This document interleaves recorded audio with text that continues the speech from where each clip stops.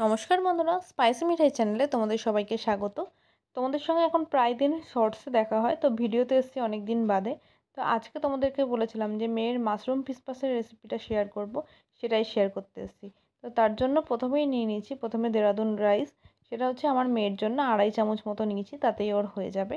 সেই চালটাকে একটু ভিজিয়ে রেখেছি। তারপর গাজর ক্যাপসিকাম পেঁয়াজ, এগুলোকে সবগুলোকে এরকমভাবে ডুমো ডুমো করে কেটে নিচ্ছি। তোমরা চাইলে অন্য কোনো শেপেও কাটতে পারো, কিন্তু আমি এগুলোকে ডুমো করে কাটতে পছন্দ করি। তো এরমভাবে গাজর, পেঁয়াজ সবই কেটে নিচ্ছি। তোমরা চাইলে অন্য কোনো সবজি চাইলে দিতেও পারো বা বাদও দিতে পারো। আর এর মধ্যে রসুনও দিতে পারো, কিন্তু আমি আজকে এর মধ্যে রসুন বা আদা কোনোটাই ব্যবহার করছি না।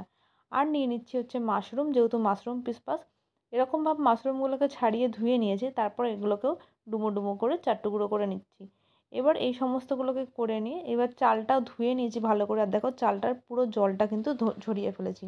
এরপর একটা প্রেশার কুকারের মধ্যে সামান্য ঘি নিয়ে নিচ্ছি আর তার মধ্যে দিয়ে দিচ্ছি গোটা গরম মশলা। তারপর এর মধ্যে একে একে কেটে রাখা সবজিগুলো দিয়ে দিচ্ছে আর দিয়ে দিচ্ছে মাশরুমগুলোকে। এগুলোকে দিয়ে সামান্য নাড়াচাড়া করে এর মধ্যে দিয়ে দিচ্ছি নুন আর গোলমরিচ গুঁড়ো।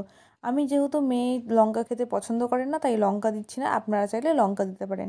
এবার প্রেশারটাকে পুরোপুরি ঢাকা না দিয়ে ওপর দিয়ে হালকা করে একটু ঢেকে রেখেছিলাম, তাতেই দেখুন সবজিগুলো একটু নরম হয়ে এসছে একটু জলও বেরিয়ে এসছে।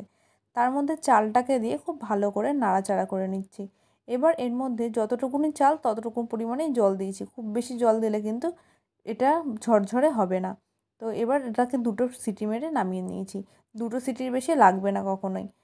দেখুন একদম ঝরঝরে কিন্তু মাশরুম পিসপাস রেডি হয়ে গেছে, দেখুন প্রত্যেক কটা চাল আলাদা হয়ে যাচ্ছে এবং ভীষণই ঝরঝরে রয়েছে এবং এক ফোঁটাও জল নেই এটার মধ্যে।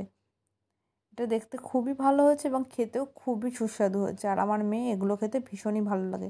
তো আমার আজকের রেসিপি আপনাদের কেমন লাগল অবশ্যই কিন্তু জানাবেন কমেন্ট করে। আর যদি ভালো লেগে থাকে তাহলে অবশ্যই চ্যানেলটাকে সাবস্ক্রাইব করবেন